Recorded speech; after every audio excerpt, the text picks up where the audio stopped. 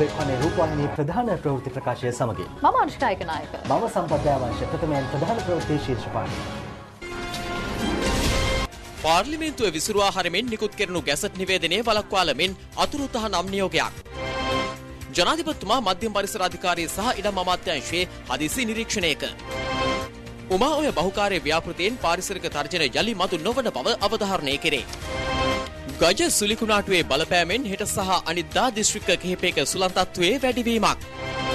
පලස්තිනුවන්ගෙන් ඉස්්‍රයිලයට rocket ප්‍රහාර හාරසියක්.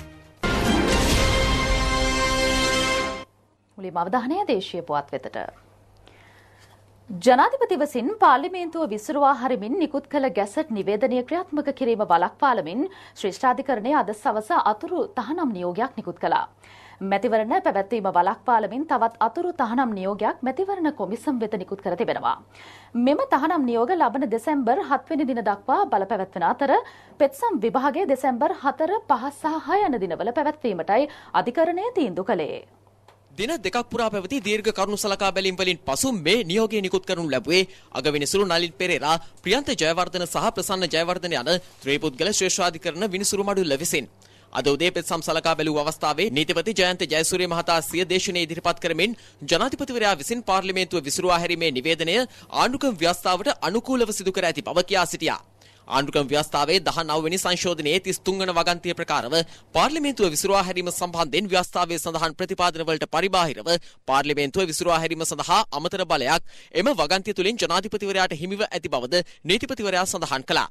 පාර්ලිමේන්තුව විසුරුවා හරිමින් ජනාධිපතිවරයා නිකුත් කර ඇති නිවේදනයේ අධිකරණය මගින් අත්හිටුවීමක් සිදු කරනු ලැබුවහොත් ඒ තුළින් ව්‍යවස්ථාවෙන් ජනාධිපතිවරයා වෙත පැවරී ඇති බලතල අත්හිටුවීමක් සිදුවන බවද නීතිපතිවරයා අධිකරණය හමුවේ පෙන්වා දුන්නා. මේ හේතුවෙන් අදාළ විසුරුවා හැරීම ව්‍යවස්ථාවට අනුකූලව සිදු වී ඇති බවයි නීතිපතිවරයා සිය දේශනය මගින් සඳහන් කළේ. ඉන්නතුරුව උදේ ගම්මන්පිල ආචාර්ය චන්න ජයසුමන නීතිඥ ප්‍රේමනාත් දොළවත්ත ශ්‍රී ලංකා පොදුජන පෙරමුණේ සභාපති මහාචාර්ය ජීල් පීරිස් ඇතුළු පාර්ශව හයක් මෙම පෙත්සමට මැදිහත් වේ කරුණු දැක්වීම සිදු කළා. ඔවුන් සිය නීතිඥවරුන් මාර්ගයෙන් අධිකරණය හමුවේ දන්වා සිටියේ ජනාධිපතිවරයා පාර්ලිමේන්තුව විසිරුවා හරිමින් නිකුත් කර ඇති නිවේදනය නීති ඉදිරියේ අභියෝගයට ලක් කළ නොහැකි බවයි. මේ හේතුවෙන් පෙත්සම්කරුවන් සිය පෙත්සම් වලින් ඉල්ලා තිබෙන සහන ව්‍යවස්ථාවට පටහැනි බැවින් ඒවා ප්‍රතික්ෂේප කරන ලෙසද මැදිහත් පෙත්සම්කරුවන් ශ්‍රේෂ්ඨාධිකරණයෙන් ඉල්ලා සිටියා. ජනාධිපතිවරයා විසින් පාර්ලිමේන්තුව විසුරුවා හැරීම අභියෝගයට ලක් කරමින් එක්සත් ජාතික පක්ෂය දෙමළ ජාතික සන්ධානය ජනතා විමුක්ති පෙරමුණ සමස්ත ලංකා මහජන කොංග්‍රසය ශ්‍රී ලංකා මුස්ලිම් කොංග්‍රසය විකල්ප ප්‍රතිපත්ති කේන්ද්‍රය හිටපු පාර්ලිමේන්තු මන්ත්‍රී මනෝ ගණේෂන් නීතිඥ අරුණ ලක්සිරි සහ ශ්‍රී ලංකා මැතිවරණ කොමිසමේ සමාජිකයෙකු වන මහාචාර්ය රත්නජීව හෝල්ස් ඇතුළු පාර්ශව 13ක් විසින් පෙත්සම් ඉදිරිපත් කර තිබුණා. එම පෙත්සම්වල වගඋත්තරකරුවන් ලෙස ජනාධිපතිවරයා අග්‍රාමාත්‍ය මහින්ද රාජපක්ෂ මහතා මැතිවරණ කොමිසම සහ එහි සමාජිකයින් නම් කර තිබෙනවා. පෙත්සම්කරුවන් කියා සිටින්නේ ආණ්ඩුක්‍රම ව්‍යවස්ථාවේ 19 වෙනි සංශෝධනයේ ප්‍රකාරව මෙම ආකාරයෙන් පාර්ලිමේන්තුව විසිරුවා හැරීමට ජනාධිපතිවරයාට බලයක් නොමැති බවයි. මෙම විසිරුවා හැරීම ආණ්ඩුක්‍රම ව්‍යවස්ථාවට පටහැනි ක්‍රියාවක් බවද ඔවුන් පෙන්වා දෙනවා. එම නිසා පාර්ලිමේන්තුව විසිරුවා හරිමින් ජනාධිපතිවරයා විසින් නිකුත් කරනු ලැබ ඇති ගැසට් නිවේදනය බල රහිත කිරීමේ ආඥාවක් නිකුත් කරන ලෙස ඉල්ලා ඇති අතර ඉදිරියේදී පැවැත්වීමට නියමිත මහමැතිවරණයේ අත්හිටුවීමේ නියෝගයක් නිකුත් කරන ලෙසද ශ්‍රේෂ්ඨාධිකරණයෙන් ඉල්ලා තිබෙනවා. සියලු කරුණු සලකා බැලීමෙන් පසු ජනාධිපතිවරයා විසින් පාර්ලිමේන්තුව විසිරුවා හරිමින් නිකුත් කර ඇති ගැසට් නිවේදනය ක්‍රියාත්මක කිරීම වළක්වාලමින් ශ්‍රේෂ්ඨාධිකරණය දෙසැම්බර් 7 වෙනිදා තෙක් බලපැවැත්වෙන පරිදි අතුරු තහනම් නියෝගයක් නිකුත් කළ අතර මැතිවරණ පැවැත්වීම වළක්වාලමින් මැතිවරණ කොමිසම වෙත තවත් අතුරු තහනම් නියෝගයක් නිකුත් කළා. ශ්‍රේෂ්ඨාධිකරණ තීන්දුව පිළිබඳව ජනතා නියෝජිතයන් කිහිප දෙනෙකු සහ නීතිවේදීන් කිහිප දෙනෙකු අදහස් පළ කළා. සොප්‍රෙම් උසාවිය අපි කියපු දේ අහලා ඒ ඉන්ටරිම් රිලීෆ් එක අපි ඉල්ලපු රිලීෆ් එක ලබා දීලා තියෙනවා කියන එක අපි සතුටෙන් ප්‍රකාශ කරන්න කැමතියි. අදාළ ජනාධිපතිවරයාගේ ගැසට් නිවේදනය අත්විඳීමක් සිදු කරා తాවකාලිකව.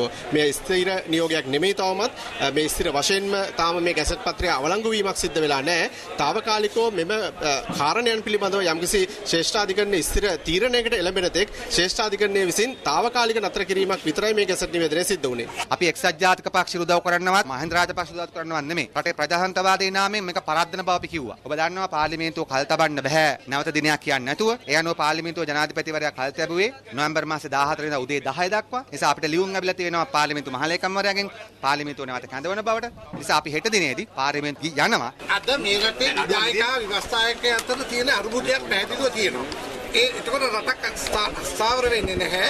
ආණ්ඩුවක් ස්ථාවර නැහැ. ඒ නිසා රටේ ජනතාවට ජනතාවට පරමාධිපත්‍ය අයිතිය මැතිවරණයක අයිතිය තියෙනවා. ඒක තමයි මේ తాවකාලික උසාවියෙන් අත්හිටු. අපි විශ්වාස කරනවා මේ ස්වාධීන අධිකරණය හරහා සාධාරණ තීන්දුවක් ඉදිරියේදී ලැබෙයි කියලා මම හිතනවා මේක හොඳට වෙච්ච දෙයක්. මොකද දින 45ක් අපිට ප්‍රමාණවත් කාලයක් නෙමෙයි මැතිවරණයකට යන්න. අපිට දැන් හොඳ වෙලාවක් තියෙනවා ඡන්ද වැඩ වලට යන්න. ඒ නිසා අපේ පාර්ටිකයන්ට හොඳට කල් මල් අරගෙන තුනෙන් දෙක බලයක් ගන්න පුළුවන්. ඡන්දයකට යන්න පුළුවන් කාල සීමාව ලබා දීමකට වුණා කියලා මම විශ්වාස කරනවා. දෙසැම්බර් මාසේ හතර පහ හය යන දිනවල මේ නඩුව විභාගයට ගන්නවා එතෙක් තහනම් නියෝග හත්වෙනි වෙනකන් අ, ක්‍රියාත්මක වෙනවා. ඒ අනුව දැන් පාර්ලිමේන්තුව රැස් වෙන්නට කිසිම බාධාවක් නැහැ. අපි ආඩම්බර වෙනවා අධිකරණය ස්වාධීන කළා 19 වෙනි සංශෝධනයෙන් අධිකරණය ශක්තිමත් කළා ඒ අධිකරණය ස්වාධීන කිරීමේ ප්‍රතිඵල අද රටේ පුරවැසියන්ට ලැබිලා තියෙනවා මේක පෞද්ගලිකව එක්සත් ජාතික පක්ෂයටවත් අපිටවත් පෞද්ගලිකව ලැබිච්ච ජයග්‍රහණයක් නෙමෙයි ශේෂාධිකරණය එම ගැසට් පත්‍රයේ తాවකාලිකව අත්හිටුවේ නැත්තම් මේ නඩුව අහලා ඉවරනකොට ඒ අයගේ ඉල්ලීමට අර්ථයක් ලැබෙන්නේ නැහැ. ගැසට් පත්‍රයේ අද අවලංගු කරා කියලා ඒ ඇත්තටම විශාල සාවද්‍ය කාරණයක්. ඉතින් මේ මේ නඩුව අවසන් වුන්නේ නැහැ.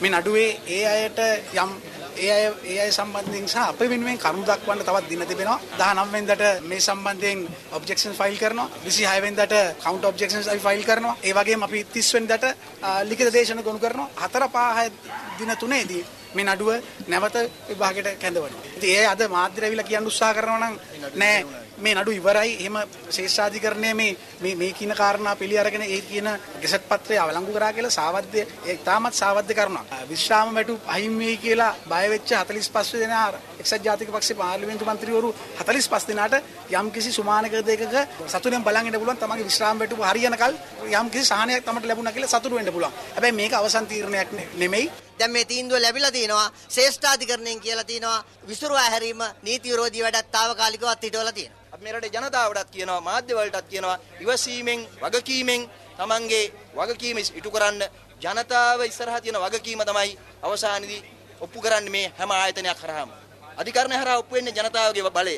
ඉතින් මම හිතන්නේ මේ සාධාරණ අධිකරණයක්. ඒකට විශේෂයෙන් මම කියන්න ඕනේ මම දවල් දැක්කා මන්ත්‍රීවරයෙක් විපක්ෂයේ නියෝජනය කරන මන්ත්‍රීවරයෙක් මෙතන කියනවා මේ අග්‍ර විනිශ්චයකාරතුමා පත් කරලා තියෙන්නේ ජනාධිපතිවරයා කියලා. එතකොට ඔහු පෙන්වන්න හැදුවේ මේ අග්‍ර විනිශ්චයකාරයා ජනාධිපති පත් කරපින්ද ජනාධිපතිතුමාගේ පැත්තට මේ තීන්දුව තීරණ දෙනවා කියන මතය තමයි දීලා මේ මාරු වෙලා ගියේ දවල්. රංජන් රාමනායක මන්ත්‍රීවරයා. අපි පැහැදිලිව කියනවා මේ නඩුව අහන්න අරන් තියෙනවා. ඒකට අතුරු තහනම් නියෝගයක් දීලා තියෙනවා. මේ මේ මේ කිසිම ජයග්‍රහණයක් නෙමෙයි. අපි ජනතාවට කියනවා කිසිම දෙයකට මේවා වෙන්න එපා.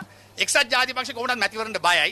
ඒක තමයි ඇත්ත කතන්දරය. අපිට විශ්වාසයක් තියෙනවා. සාධාරණ ඉටු වෙයි කියලා මේ නඩුව අපි ජයග්‍රහණය කරා අපි දැඩි විශ්වාසයක් තියෙනවා. නෑ ඉතින් එක්සත් ජාතික පක්ෂය හැමදාම ජයග්‍රහණය කරුවා කියලා හිතාගෙන ඉන්නේ. එක්සත් ජාතික පක්ෂය 3ට 4ට කැඩිලා ඉවරයි. රජිත් ප්‍රේමදාස මහත්තයාව එක්කන් යන්න කියලා කණ්ඩායමක් රතින්න දාගෙන යන පාරවල් දිගේ. රනිල් වික්‍රමසිංහ මහත්තයා ගෙදර එවන්න ඕනේ කියලා. ඉතින් කොහොමද බහුතරයක් මේවා කරන්නේ? මේ මේ මේකක් මේවා වෙලා වෙලා උන් විනෝද වෙන්න පුළුවන් తాවකාලික. හැබැයි අපි කියනවා ප්‍රජාතන්ත්‍රවාදේ නම් මේ රටේ ජනතාවට ඉඩ දිය යුතුයි ආණ්ඩුවක් තෝරගන්න මේ වගේ ආණ්ඩුවක් තියාගෙන මේ රට කරපු විනාශය ගැන අමුතුවෙන් අපි කියන්න දෙයක් නැහැ. අධිකරණ තීන්දුවත් සමග මහමැතිවරණයට අදාළ කටයුතු වහාම ක්‍රියාත්මක වන පරිදි తాවකාලිකව අත්හිටුවීමට තීරණය කළ බව මැතිවරණ කොමිසමේ සභාපති මහින්ද දේශප්‍රිය මහතා පවසනවා. රූපවාහිනී විශේෂ ප්‍රකාශයක් කරමින් ඔහු මේ බව ප්‍රකාශ කළා. පාර්ලිමේන්තු මැතිවරණයට අදාළ කටයුතු ඉටු කරමින් තිබුණේ මැතිවරණ කොමසාරිස් ජෙනරාල්වරයා විසින්. අද දින ශ්‍රේෂ්ඨාධිකරණය දෙන ලද නියමයේ පරිදි එම සියලු කටයුතු ඒ නියමයේ ලද වායි අවස්ථාවේ සිටම අත්හිටුවලා තියෙනවා නැවත නියමයක් කරන තුරු. ඒක තමයි දැනට තියෙන තත්ත්වය. නමුත් පළාත් සභා ඡන්ද විමසීමට අදාළව සිදු කරගෙන යමින් තිබිච්ච මූලික කටයුතු ආ වෙනසක් නැතුව අධිසි කිරීමකින් තොරව සාමාන්‍ය ආකාරයෙන් කරගෙන යනවා. එක්සත් ජාතික පක්ෂයට මැතිවරණයක් ජයග්‍රහණය කළ හැකි නායකයෙකු වහ අවශ්‍ය බව දේශපාලන පක්ෂ නියෝජිතයින් පෙන්වා දෙනවා. අද පැවති මාධ්‍ය හමු කිහිපයකදී ඔවුන් ඒ පිළිබඳ අදහස් පළ කළා. අවුරුදු 47ක් නායකයෝ 6 දෙනෙක් එක්සත් ජාතික පක්ෂය තුල නායකත්වයේ දරලා දිනවා. තනියෙන්ම වික්‍රමසිංහ මහත්මයා අවුරුදු 25 මේ 25 වෙනි අවුරුද්ද දැන් ඉදිරියට යන්නේ. දැනුත් මෙච්චර ප්‍රශ්න ඇති වෙලත් එතුමා නිකන් හරි පක්ෂ ගැන හිතලා රට ගැන හිතලා පස්සට අඩියක් අරගෙන සජිත්ව ඉස්සරහට දාලා සියලු දෙනාව එක්කව කරගෙන ඔයා ඉදිරියට යන්න මම පිටිපස්සෙන් සපෝට් එකක් දෙන්නම් කියලා කියන්නේ නැහැ. අර බලපෑමට කියන්නේ මොකද්ද? සජිත්ව අගමැති අපේක්ෂා කරන්නම් මම ජනාධිපති අපේක්ෂා කියලා කියන්නේ මම තවදුරටත් නායකත්වයේ ඉන්නවා. නායකත්වයේ දාලා මම යන්නේ නැහැ. ඉතින් මෙතුමා නායකත්වයේ දාලා යන්නේ නැත්තම් ඒ පක්ෂේ ඉඳලා ගියේ කවුරුත් එන්නේ නැහැ උතන්ට. පුළුල් සන්දානයක් ඇදෙන්නේ නැහැ. මම දෙදස් දහයිදං අපේ නායකත්වයත් සමඟ කතා කලා නායකත්වයට කිව්වා පක්ෂයට කිව්වා මේ පක්ෂයේ යම් කිසි වෙනසක් විය යුතුයි නායකත්වයේ සිටම කියලා. මේක යම් යම් කාලවලදී මේක ඉදිරියට එනවා යම් යම් කාලවලදී මේක නැවත පල්ලෙහාට යනවා මේක ගැන කතා නොකර ඉන්නවා. ඉතින් දැන් කාලය ලැබිලා තියෙනවා ඉදිරි මැතිවරණය වෙනුවෙන් යම් කිසි ක්‍රියාගාමයකට ගිහිල්ලා පක්ෂයේ පූර්ණ කාලින වෙනසක් කරගෙන ඉදිරියට යන්න. රනිල් වික්‍රමසිංහ මැතිතුමා අපේ පක්ෂයේ ජ්‍යෙෂ්ඨ නායකයෙක් විදිහට ඉඳලා නව තරුණ නායකත්වයක් සමග මේ ඉදිරියට ගෙන යාම තමයි සඳහා අපේ පූර්ණ කැපවීම අපි කරලා තියෙනවා. රනිල් වික්‍රමසිංහ මහත්තයා වපුරපු අස්සන්න තමයි මේ නෙලමින් ඉන්නේ. මේ රටේ ජනතාවට ඔලු උස්සන්න දෙන්නේ නැතුව බදු ටික ගහලා දඩ ටික ගහලා රට ගැන නොසලකා රට වෙන්දේසි කර කර ජීවත් වෙන්න පටන් ගත්තානේ. කොරු අල්ලනවා කියලා ඇවිල්ලා මොකද කරේ? ඔය රනිල් වික්‍රමසිංහ කණ්ඩායමත් හොරකම් කරන්න හොඳට පටන් ගත්තානේ. රනිල් මහත්තයාගේ ප්‍රධානම ගෝලයානේ මහ බැංකුවේ අධිපති අර්ජුන මහේන්ද්‍රන් සිංගප්පූරුවේ ඉඳලා ගෙනාවේ අපි නෙවෙයිනේ රනිල් වික්‍රමසිංහනේ ගෙනාවේ. ස්වභාවය ගෙනල්ලා මොකද කරේ? මහ බැංකුවේ දොරවල් ඇරලා කෝටි ප්‍රකෝටි ගණන් වස්තුව එළියට ඇද්දා. ඒ වස්තුව පාවිච්චි කළා තමයි යන්න හිටපු മന്ത്രിවරු අද රැකගත්තේ. එහෙනම් රනිල් කියන්නේ මේ රටේ දැවැන්ත හොරකමකට සම්මාදම් වෙච්ච අග්‍රාමාත්‍යවරයෙක්. ඒ වගේම රාජ්‍ය පාලකයෙක් හැටියට ඉතාම දුර්වල පාලකයෙක්. එහෙනම් රනිල් වික්‍රමසිංහල හොරු ඇල්ලුවෙත් නැහැ, යහපාලනයක් ගෙනාවෙත් නැහැ. රට කාබාෂණීය කරන ගමනේ තමයි ගියේ. ඒ මහ බැංකුවේ මහ හොරු අදටත් රැකගෙන සිංගප්පූරුවේ තියාගෙන මේ රටට ගෙනත් දෙන්නේ නැතුව තමන්ගේ යුතුයකම් වගකීම් ඉෂ්ට කරපු නැති රනිල් වික්‍රමසිංහලා තමයි මේ ඉන්නේ. එහෙනම් රනිල්ලටත් අපි කියන්නේ කැමති ඔහේලටත් මේ රටේ අනාගත බලයක් අනාගත පැවැත්මක් ඉතුරු කරන්න පුළුවන් කමක් නැහැ. එහෙනම් රනිල් වටා ගොඩ නැගුණු ඒ ජනතාවටත් අපි කියනවා එකතු වෙච්ච ජනතාවට කියනවා දැන් විකල්පයක් දෙසට හැරෙන්න. ජනාධිපති මෛත්‍රීපාල සිරිසේන මැතිතුමා මධ්‍යම පරිසර අධිකාරිය සහ ඉඩම් අමාත්‍යංශයේ කටයුතු සොයා බැලීම සඳහා අද උදේ හදිසියේම ස්ථාන වෙත පැමිණියා. ජනාධිපතිතුමා පළමුවෙන් ගියේ මධ්‍යම පරිසර අධිකාරියටයි. එහි කටයුතු අධීක්ෂණය කරමින් ආයතනයේ අභ්‍යන්තර ක්‍රියාවලිය මෙන්ම මූල්‍යාංශයේ කටයුතු පිළිබඳවද සොයා බැලූ ජනාධිපතිතුමා පවතින දේශපාලන වාතාවරණය බාධාවක් කර නොගෙන වාර්ෂික ඉලක්ක සම්පූර්ණ කර ගැනීමට සැලසුම් සහගතව කටයුතු කරන ලෙස නිලධාරීන්ට උපදෙස් දුන්නා. මධ්‍යම පරිසර අධිකාරියේ පරිසර ආරක්ෂණ බලපත්‍ර නිකුත් කිරීමේ ක්‍රමවේදය ඇතුළු අනිකුත් සේවාවන් කෙරෙහිද ජනාධිපතිතුමාගේ විශේෂ අවධානය යොමු වුණා. මෛත්‍රීපාල සිරිසේන මැතිතුමා ඉඩම් අමාත්‍යංශයේ කටයුතු සොයා බැලීම සඳහා ගියේ ඉන් අනතුරුවයි. ඉඩම් කොමසාරිස් ජෙනරාල් දෙපාර්තමේන්තුවේ ඉඩම් දීමනා බලපත්‍ර ලබා දීමේ ක්‍රියාවලිය පිළිබඳව මෙහිදී විමසා බැලුණා. ජනතාවගේ දීර්ඝකාලීන ගැටලුවකට විසඳුම් ලැබෙන ඉඩම් දීමනා බලපත්‍ර නිකුත් කිරීමේ කටයුතු වඩාත් විධිමත් සහ කඩිනම් කිරීමේ අවශ්‍යතාව ජනාධිපතිතුමා විසින් පෙන්වා දෙනු ලැබුවා. දෙදහස් දහනවේ වසරේදී ඉඩම් ඔප්පු දසලක්ෂයක් බෙදාදීමේ ජාතික වැඩසටහන සාර්ථක කර ගැනීම සඳහා සැලසුම් සහගතව කටයුතු කිරීමේ වැදගත්කම එතුමා අවධාරණය කළා. ජනාධිපතිතුමා ඊයේ සවස කොළඹ පැවති බිස්නස් ටුඩේ දෙදහස් දහ අට ව්‍යාපාරික සම්මාන උළෙලටද සහභාගී වුණා. ඒ නම් කර තිබුණේ බිස්නස් ටුඩේ ටොප් 30 යනුවෙන්. දෙදහස් දාහත දෙදහස් දහ අට වසරවල විශිෂ්ටත්වයක් පෙන්ඩුම් කළ ව්‍යාපාරික සමාගම් තිහක් මෙහිදී ඇගීමට ලක් කෙරුණා. දේශීය ආර්ථිකයේ මත විශ්වාසය තබා රටේ අනාගතය උදෙසා අකණ්ඩව සිය පෞද්ගලික ආයෝජනයන් සිදු කළ කීර්තිමත් පුද්ගලයින් ඇගීමද සිදු කරනු ලැබුවා.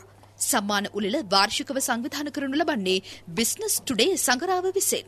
අමාත්‍ය නිමල් සිරිපාලද සිල්වා මහතා සහ ව්‍යාපාරික ක්ෂේත්‍රයේ ප්‍රවීණින් රැසක් මේ අවස්ථාවට එක්ව සිටියා.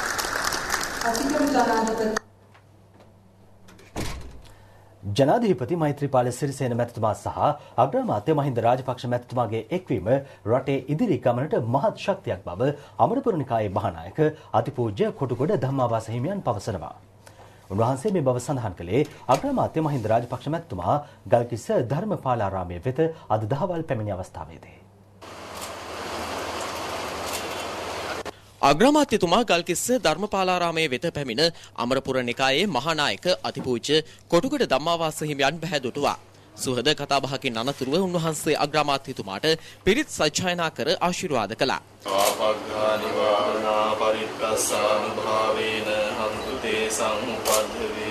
අනතුරුව මහානාහිමියන් මාධ්‍යට අදහස් පළ කළා. මහින්ද රාජපක්ෂ මැතිතුමාට අමුතු පළපුරුද්දක් අවශ්‍ය නෑ මේ රටේ ප්‍රශ්න විසඳපු කෙනෙක් ඉදිරියටත් කරගෙන යනු ලබන මේ සියලු කටයුතු කරගෙන යාමට අතිගරු ජනාධිපතිතුමා මෛත්‍රීපාල සිරිසේන මැතිතුමා සම්බන්ධ කරගෙන කරන්න පුළුවන් වෙයි කියලා. ඒක වරදින්නේ නෑ. අග්‍රාමාත්‍ය මහින්ද රාජපක්ෂ මැතිතුමාද මාධ්‍යයට අදහස් දැක්වා. පොත තියෙන කම්බේ ජනාධිපති අගමැතිතුමනි අපි බලාපොරොත්තු ජනතාවට ප්‍රජාතන්ත්‍රවාදී අයිතිය ලබා දී ඇති අවස්ථාවක එය වළක්වාලීමට එක්සත් ජාතික පක්ෂයේ ප්‍රමුඛ ඇතැම් පිරිස් උත්සාහ දරමින් සිටින බව හිටපු අමාත්‍ය ලක්ෂ්මන් යාපා අබේවර්ධන මහතා පවසනවා. පොදුජන පෙරමුණ අද කැඳවා තිබූ මාධ්‍ය හමුවකට එක්වෙමින් ඔහු මේ බව සඳහන් කළා.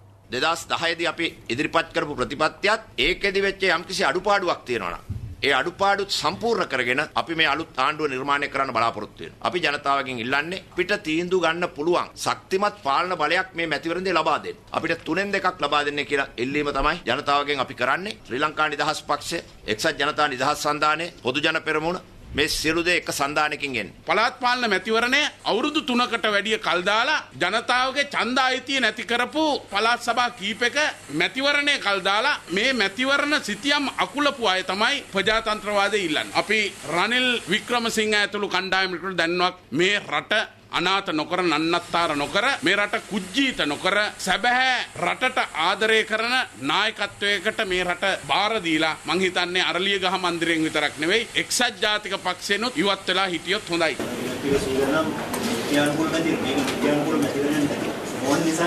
මීට සති සති සතියකට ඉස්සෙල්ලා පුවත්පත් බලන්න. යුව එක්සත් ජාතික පක්ෂයේ ඇමතිවරු කිව්වේ මොකද්ද කියලා. මැතිවරණයක් එහෙමනම් දෙන්න අපිට. දැන් මැතිවරණ දීලා තියෙනවා. ඒතර අද මැතිවරණ කොමිසමකුත් තියෙනවා. හොර ඡන්ද දාවයි කියලා කියන්නත් බෑ. හැම මිනිස්සෙටම ඩෙන්ටි කාඩ් එක පාවිච්චි කරලා ඡන්ද දාන්න තියෙන්නේ. වෙන බලපෑමුත් නවත්තලා තියෙනවා. දැන් පවත්වන මැතිවරණය පිළි අරගෙන තියෙනවා සාධාරණ මැතිවරණයක් කියලා. එතකොට ඇයි මහ ජනතාවට බලය දෙනවට විරුද්ධ? මිනිස්සු ඡන්ද දීලා පත් කරපු ආණ්ඩුවේ රට ගෙනියනකොට මත ගැටුමක් ඇති වුණාම මිනිස්සුන්ටම තේරුණා පහුගිය අවුරුදු තුනමාරේ මේක කරන්න බැරි බව. මේ සේරමත් එක්ක ලංකාව අස්ථාවරතාවයටපත් වුණා. එතකොට අපි කියන්නේ එහෙම අස්ථාවරතාවයටපත් නොවි ජනතාවගේ ප්‍රශ්න විසඳන්න අපිට තුනෙන් දෙකේ බලයක් දීලා තනි ආණ්ඩුවක් දෙන්න. හැබැයි ඒක වැරදියයි. දෙන්නේ නැත්නම් ඒගොල්ලන්ට දෙන්න බලය. ඒ නිසා මේ ඡන්ද බලය දෙන්න ඉඩ දෙන්නකො මිනිස්සුන්ට.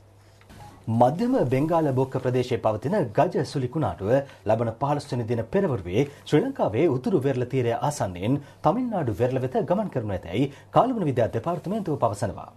මෙම පද්ධතිය ඉදිරි පැය 24 තුළ ඡණ්ඩ සුලිකුණාටුවක් දක්වා වර්ධනය වනු ඇති බවයි අපේක්ෂා කෙරෙන්නේ.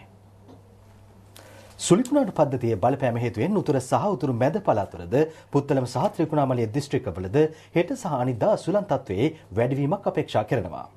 කාල්ගුණ විද්‍යා දෙපාර්තමේන්තුව දැනුම් දෙන්නේ එම නිසා එම ප්‍රදේශ ආශ්‍රිත මුහුදු ප්‍රදේශවල දිවර හා නාවික කටයුතු වලින් වැළකී සිටින ලෙසයි.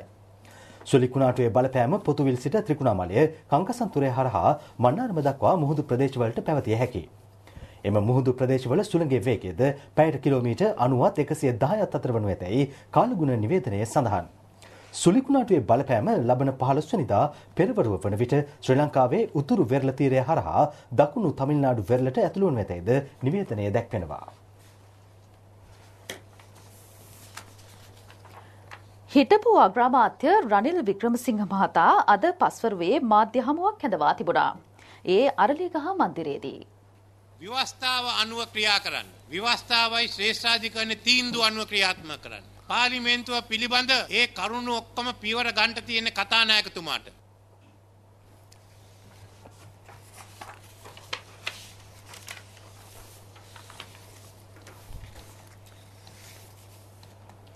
උමාඔය බහුකාර්ය ව්‍යාපෘතියෙන් පාරිසරික තර්ජන යළි මතු නොවන බව පෙරදිනේ විශ්වවිද්‍යාලයේ භූවිද්‍යා දෙපාර්තමේන්තුව පවසනවා. නිසි අධ්‍යයනයකින් තොරව ඇතැම් ඉදිකිරීම් සිදු කිරීම නිසා ව්‍යාපෘතිය සම්බන්ධයෙන් මීට පෙර ගැටලු ඇති වී තිබුණා.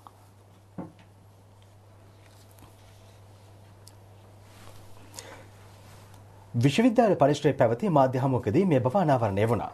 ව්‍යාපෘතිය ක්‍රියාත්මක කිරීමේදී ඇති වූ ගැටලු පිළිබඳ අධ්‍යයනයෙන් පසු තත්ත්වය මෙහිදී ප්‍රකාශ කෙරුණා. ඒ වෙනුවෙන් පත් කළ කමිටුවේ සභාපති ආචාර්ය ජගත් ගුණතිලක මහතා පැවසුවේ උමාවය ව්‍යාපෘතිය ආරම්භ කිරීමේදී ඇතැම් පරිසර ගැටලු මතුවත් එය නොසලකා විදේශීය කොන්ත්‍රාත් සමාගම් ඉදිකිරීම් සිදු කර ඇති බවයි. ප්‍රධාන වේලි දෙක භූගත විදුලි බලාගාරය කිලෝමීටර් 15 දිග උමම් පද්ධතිය ව්‍යාපෘතියේ ප්‍රධාන ඉදිකිරීම් වනවා. ඒවා සැලසුම් කළ තත්ත්වයට වඩා වෙනස් ස්වරූපයකින් ඉදිකළ යුතු බවයි විශ්වවිද්‍යාල අධ්‍යයනයේදී අවධානය යොමු වී ඇත්තේ. එමෙන්ම භාවිත කළ යුතු යන්ත්‍ර සූත්‍ර අමුද්‍රව්‍ය ආදිය පිළිබඳවද අධ්‍යයනයට ලක් වී තිබෙනවා. විශ්වවිද්‍යාලීය ශක්‍යතා අධ්‍යයනයට අනුව අපේක්ෂිත කාලයට වඩා වැඩි කාලයකින් ව්‍යාපෘතිය නිම කිරීමට සිදුවන බවයි මාධ්‍ය හමුවේදී ප්‍රකාශ කෙරුණේ. HIV පෙර හඳුනාගෙන නිසි ප්‍රතිකාර ගැනීමෙන් සාර්ථක ජීවිතයක් ගත කළ හැකි බව විශේෂඥ වෛද්‍ය KAM ආරියරත්න මහතා පවසනවා. ඔහු අවධාරණය කරන්නේ ඒ ගැන යම් සැකයක් වෙතොත් HIV රුධිර පරීක්ෂා වෙත යොමු වන ලෙසයි. සෑම සතියකම අලුතින් HIV රෝගීන් පහක් හයක් පමණ හඳුනා ගනු ලබනවා. මේ අතර වැඩි වශයෙන් සිටින්නේ වයස අවුරුදු 15 සිට 49 දක්වා වූ වයස් කාණ්ඩයයි බව සෞඛ්‍ය බලධාරීන් පවසනවා. පිරිමි පාර්ශවය ඉන් බහුලයි. අනාරක්ෂිත ලිංගික සබඳතා HIV ආසාදනය වීමට ප්‍රධාන වශයෙන් හේතු වී තිබෙනවා. ශ්‍රී ලංකාවේ දැනට සිටින බවට ඇසමේන්තු කර ඇති HIV රෝගීන් සංඛ්‍යාව 3500ත් 4200ත් අතර වනවා. ඉන් තුනෙන් එකක් පමණ තමා HIV ආසාදිතයෙකු බව නොදන්නා බවයි විශේෂඥ වෛද්‍ය KAM ආර්යරත්න මහතා පවසන්නේ. HIV පරීක්ෂණයක් කළා තමයි මේ කට්ටිය අඳුරගන්න පුළුවන්. ඒ කියන්නේ ආසාදනය වෙලා පුළුවන් තරම් ඉක්මනට හොයාගත්ත තරමට එයාලට බෙහෙත් දුන්නොත් සාමාන්‍ය ජීවිතයක් ගත කරන්න පුළුවන්. වෛරස් ප්‍රමාණය ඊටාම අඩු කරොත් එහෙම එයාගෙන් වෙන එක්කෙනෙකුට HIV සම්ප්‍රේෂණය වෙන්නේ නැහැ. ඒ නිසා අපිට පුළුවන් තරම් කලින් ආසාදනය වෙච්ච කට්ටියට ටෙස්ට් කරලා අඳුරගෙන එයාලට ප්‍රතිකාරය ලබා දෙන්න ඕනේ. එතකොට එයාලගේ සෞඛ්‍යයත් රැකෙනවා. ඊට අමතරව එයාලගෙන් අනිත් කට්ටියටත් ඒක යෑම වැළකෙනවා. ශ්‍රී ලංකන් ගුවන් සමාගමේ නව සභාපති ලෙස එහි හිටපු ප්‍රධාන විධායක නිලධාරී කපිල චන්ද්‍රසේන මහතා පත් කර තිබෙනවා. හිටපු සභාපති රංජිත් ප්‍රනාන්දු මහතා අද ඉල්ලාස්වීමත් සමග දුරය පුරප්පාඩු වුණා. ශ්‍රී ලංකන් අධ්‍යක්ෂ මණ්ඩල සමාජික මනෝ තිත්තවැල්ල මහතාද ඉකුත් මස 30 වෙනිදා සිය දුරෙන් ඉල්ලාස් වුණා. ඔවුන් දෙදෙනා එම තනතුරු වලට පත් කර තිබුණේ පසුගිය අප්‍රේල් මාසයේදී. විසි නවවැනි ඉල්මහ විරුස් සමරුව අදට යෙදී තිබෙනවා. එනිමිතින් සංවිධාන කෙරුණු ගුණ සමරු උත්සව කිහිපයක් ප්‍රදේශ කිහිපයකදී පැවැත්වුණා. ජනතා විමුක්ති පෙරමුණ සංවිධාන කළ ඉල්මහ විරු සමරුව පැවැත්වුණේ කොළඹ විහාර මහදේවී එලිමහන් රංගපීඨයේදී. පක්ෂයේ නායක අනුරකුමාර දිසානායක ලේකම් ටෙල්වින් සිල්වා යන මහත්වරුන් ඇතුළු පිරිසක් මීට එක්ව සිටියා.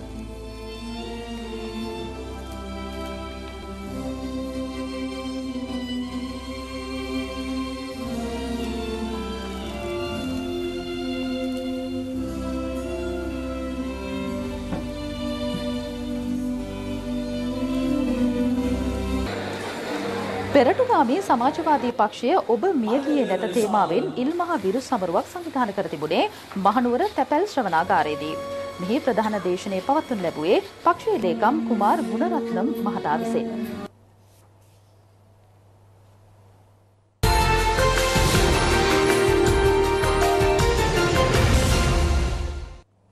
ඊශ්‍රායලය සහ පලස්තීන හමාස් සංවිධානය අතර සටන ඉතා දරුණු මුහුණුවරක් ගෙන තිබෙනවා. අද සවස වන විට ඊශ්‍රායලයට පලස්තීනුවන්ගෙන් එල්ල වූ රොකට් වෙඩි ප්‍රහාර සංඛ්‍යාව 400 ඉක්මවනවා. ඊශ්‍රායලයේද පලස්තීන ගාසා තීරයට ගුවන් ප්‍රහාර 150කට වැඩි සංඛ්‍යාවක් එල්ල කළා. ඊශ්‍රායල ප්‍රහාර වලින් අද දිනය තුල මියගිය පලස්තීනුවන්ගේ සංඛ්‍යාව 7ක්. ඒ අතරින් සිව් දෙනෙක් හමාස් සටන්කාමීන්. වත්මන් සටන ආරම්භ වූයේ ඊශ්‍රායලයේ ඉරිදා රාත්‍රියේ හමාස් නායකයෙකු මරා දැමීම සඳහා සිදු කළ රහසගත කමාන්ඩෝ මෙහෙයුමෙන් පසුවයි. එම සිද්ධියේදීද සටන්කාමී 나යකයා සහ ඔහුගේ සහායකයන් හත්වෙනිට ඊශ්‍රායල කමාන්ඩෝ බටේ ගමිය ගියා. දේශ සීමාව හරහා සටන් නැවිලුනේ ඉන් පසුවයි. මෑත ඉතිහාසයේ එක් දිනක් තුළ ඊශ්‍රායලයට පලස්තීනුවන්ගෙන් එල්ල වූ වැඩිම රොකට් ප්‍රහාර සංඛ්‍යාව අද වාර්තා වුණා. රොකට් වෙඩිල්ලකට ඉලක්කවීමෙන් ඊශ්‍රායල වැසියෙක් මරණයට පත් වුණා. පසුගිය මාර්තු මාසයේ සිට සිදුවන ඊශ්‍රායල පලස්තීන සටන්වලින් මියගිය සංඛ්‍යාව 200 ඉක්මවනවා.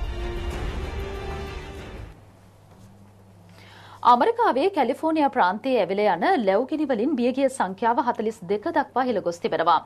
තවත් 228 දෙනෙක් අතුරුදන් බවයි වාර්තා වන්නේ. ගින්න නිවාස 7200ක් සම්පූර්ණයෙන්ම දෙවි අලු වී ගියා. තවත් නිවාස 15500ක් ගින්නට ගොදුරු වීමේ අවදානමක් පවතිනවා. කැලිෆෝනියා ප්‍රාන්ත වැසියන් 3 ලක්ෂයක් නිවාස අතහැර පලා ගියා. ජනාධිපති ඩොනල්ඩ් ට්‍රම්ප් හදිසි අවස්ථාවක් ප්‍රකාශයට පත් කළා. සහන සේවා හා ගිනි නිවීම වඩාත් පුළුල් කර ඇති බවයි වාර්තා වන්නේ. ගින්නෙන් පලා යාමට උත්සාහ දරූ ඇතැම් අය වාහන සමගම දැවී ගොස් ඇතැයි ගිනි නිවන බටයින් ප්‍රකාශ කරනවා. එලෙස දැවී ගිය සිරුරු 40ක් පමණ හමු වී තිබෙනවා. හෙක්ටයාර 45000ක භූමියෙන් ලැබුගිනි වලින් සම්පූර්ණයෙන්ම දැවී විනාශ වූ බවයි වාර්තා වන්නේ.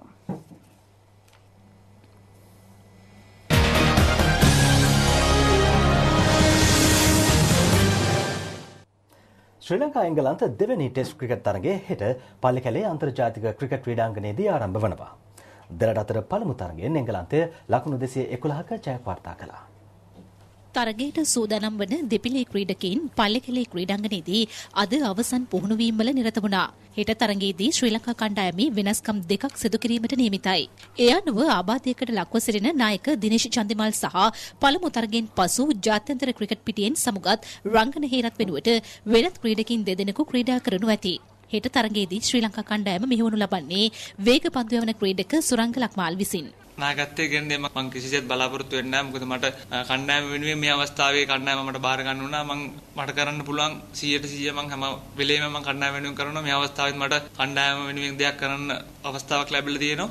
ඒක ඇත්තටම 100ට 100ක්ම මම කණ්ඩායම අනිත් ක්‍රීඩකයන් සමග කතා කරලා කණ්ඩායමට උපරිම කරන්න බලාපොරොත්තු වෙනවා. අපි තරගයක් පරදුනා කියලා අපි කොයි වෙලාවකවත් අපි මානසිකත්වයෙන් පල්ලෙහාට වැටලා නැහැ දැනට. මම හිතන්නේ කෙසේ හෝ අපි ක්‍රීඩා කරන්නේ ඉදිරි තරඟ දෙක ජයග්‍රහණය කරන මොකද මේ තරඟය අපිට ගොඩක් වැදගත් වෙනවා මොකද අපි තරඟාවලියේ රැඳී සිටින්නේ. හෙට ආරම්භ වන්නේ දෙරට අතර 33 වැනි ටෙස්ට් ක්‍රිකට් තරගයයි. මීට පෙර පැවති තරඟවලදී එංගලන්තය තරඟ 13ක ජය වාර්තා කළ අතර ශ්‍රී ලංකාවට තරඟ 8ක ජය හිමි වුණා. තරඟ 11ක් නිමා වූයේ ජය පරාජයෙන් තොරවයි. මෙවර පළමු තරගයෙන් පසු පන්දු යැවීමේ ඉරියව්ව සැක සහිත බවට අකිල දරංජයට එල්ල වූ චෝදනා පිළිබඳවද සුරංග ලක්මාල් අදහස් පළ කළා. මං ඇත්තටම අකිල දරංජන කතා කරේ කිසි දෙයක් මොකද කල්පනා කරන්න එපා අපිට මේ තරගය අපි තරගෙන් තරගට තමයි ක්‍රීඩා කරන්න ඕනේ මොකද ඊළඟ තරගය ක්ලියර් කරගන්නේ ICC එකට ගිහිල්ලා ඉතින් ගොඩක් දේවල් හිතන්න එපා. එයා කලින් හොඳට පන්දු වල තියෙනවා ඒ හොඳට පන්දු වන විදිහට ඔය එකත් එක්තරා සිද්ධියක් විතරයි. මම ඒක අමතක කරලා හොඳින් පන්දිවන්න කියන තමයි මම වෙලේම කතා කරන්නේ. ක්‍රිකට් ආචාර ධර්ම තුනක් කඩකිරීම පිළිබඳව ශ්‍රී ලංකා කණ්ඩායමේ හිටපු ක්‍රීඩක දිල්හාර ලොකුහෙට්ටිගේට ජාත්‍යන්තර ක්‍රිකට් කවුන්සිලය විසින් චෝදනා ගොනු කර තිබෙනවා. ඒ අනුව ඔහුට ක්‍රිකට් ක්‍රීඩාවට අදාළ කටයුතු වල නිරත වීම වහාම ක්‍රියාත්මක වන පරිදි තහනම් කර ඇති අතර අද සිට දින 14ක් ඇතුළත චෝදනාවන්ට ප්‍රතිචාර දක්වන ලෙස දැනුම් දී තිබෙනවා. ඒ සමගම අපගේ ප්‍රධාන ප්‍රවෘත්ති ප්‍රකාශයෙන් වාර්තා. අයිබෝවන්